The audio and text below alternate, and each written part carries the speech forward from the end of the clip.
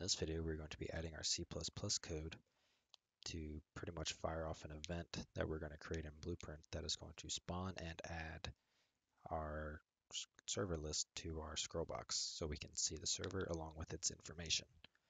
So we're going to create a struct that holds the information that we want.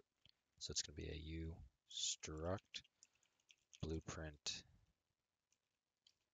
Uh, what's it called? Blueprint, not assignable. Oh, it's blueprint type, duh. Then it could be struct f server info. Generated body. Then do a public section like so. And let's compile make sure we didn't do any stupid typos.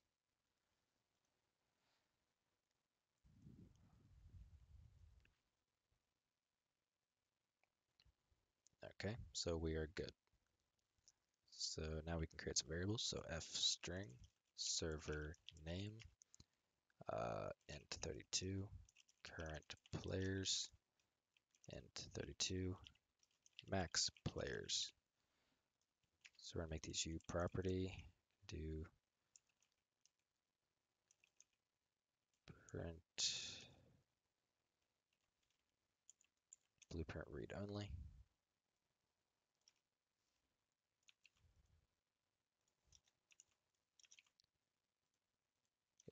These over like I like, and compile.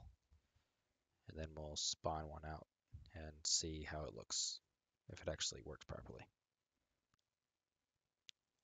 All right, just out of curiosity, we're gonna create a new um, server server info.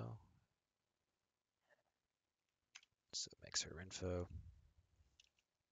break it, server name, players, current max players. Okay, so we're good. Whoops. So now we need to make a delegate.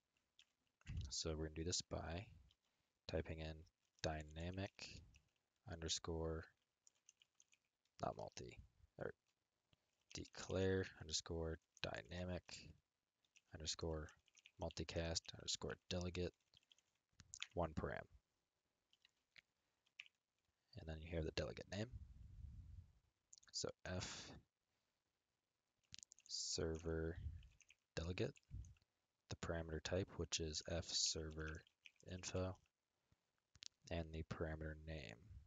We're going to give it, uh, we're just going to call it server list deli. Then we're going to make it. So we're going to do a u property, uh, blueprint assignable. It's going to be f server delegate. Call it server list delegate, like so. And then we compile. You're probably going to see red squiggly line, red squiggly line, but it should still compile. It's just IntelliSense with macros. Right, which it did. So now let's bind up an event. Uh, I'm actually going to close and relaunch this real quick, the editor, because I did something in the header. Anytime you add like a structure or anything inside of a header, you generally want to close the editor, relaunch it. I actually meant to build this while with it closed, but it should be okay.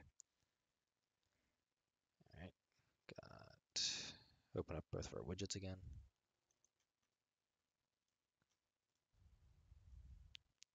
Right, still builds just fine.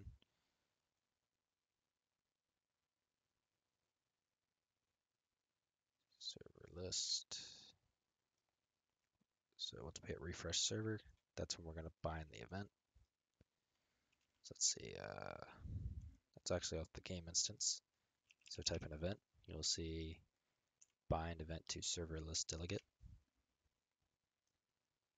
So drag off and add a custom event. Call this one server received. As you can see, the parameter is our structure. So go to server slot. We're going to, go to graph, add a new variable. Call this one server, or actually, yeah, server data. Type's going to be server info. Make it instance editable and expose it on spawn. For the current and max, I need to make that a variable too. I forgot to do that. So we have server data. I'm going to drag it off. Then we're going to break it. Then we're going to set the server name.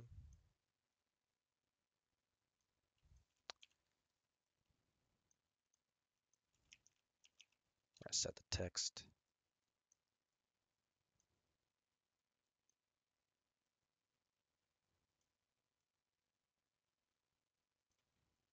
We're just going to do the server name for now. We're not really going to have an actual name until we actually get to creating it, in which case we will, well, this will handle it for us since it'll already be set. Uh, we can deal with current and max players later. I'm not concerned about it. I'm just concerned about getting the widgets shown up in this, then we'll move on to the next step. So from here we can go to create widget. Going to create a server slot. We're going to pass in server data. Compile. Now we want to go, not the widget switcher, the scroll box. We're going to get it. We're going to add a child. And the child's going to be that slot, or the server slot. Compile save. Now we need to fire this event. So I'm actually going to create a just a print string. It say found server for each time it fires. Now we need to make it fire. So what we're going to do here is on on find session complete, I'm going to comment out where we join our session and I'm going to loop through all of our search results. So we're going to do a for loop. So for f online session search result, result and search results. So if result dot valid. So if result is not valid, we're just going to simply continue. And what continue does, it's going to essentially skip over anything that's below continue and run uh, the next element if there is one. So we're going to construct our f server info. We can call it just info for now info dot server name equals just test server name for now. Info dot current players equals result dot session dot session info no dot session settings oh, number of open private connections. We're gonna actually alter this here in a second. So info dot max players equals result dot session dot settings dot number of public connections.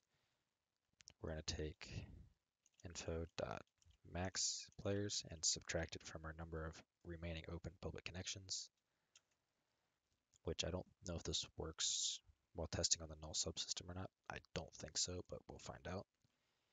And after that's been constructed, we want to fire off our event. So we're going to take our event server list deli, type broadcast, and we're going to pass in info. IntelliSense won't pick it up because they're showing errors right now, but it should be fine, and it is. So let's give it a test. So I want to fire up two instances of the game.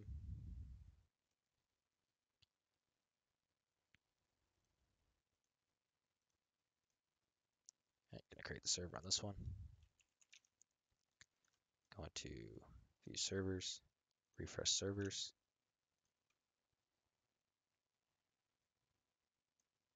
Right, search results, it found it, and test server name and current and max. So it did find the server and it pulled it up just like so. So what I want to do is I want to actually, I wonder if I can create another server without it throwing a fit. about the session name.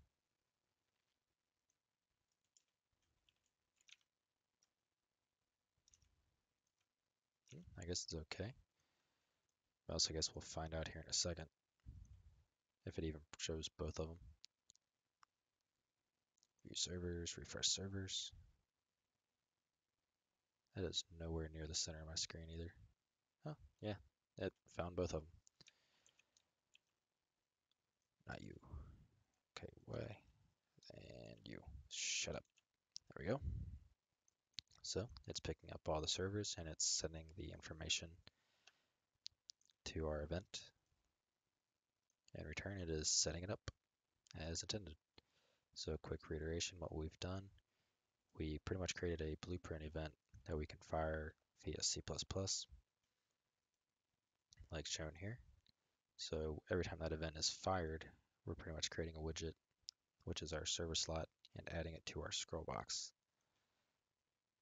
And as a child of our scroll box, and that allows us to fill it up with the list of servers, click on them and all that kind of stuff. So we are going to have to wrap the server in a button or something like that eventually with just the grid inside of it with the text of that grid inside of that so we can click on it and select a specific widget. I mean select a specific um, eh, what do you call it slot to join and let's see. That's pretty much it. All we've done. So in on find sessions complete we loop through all of our sessions that we find make sure they're valid first off. We're to go ahead and set our info for our f server infrastructure. Then we're to broadcast meaning fire this event while passing in the info structure that the F server structure that we just created. So it is one minute before 5 a.m. So I'm going to bed. So hopefully you found this one useful because I am beyond tired and I don't even know if this is of good quality or not. So good night.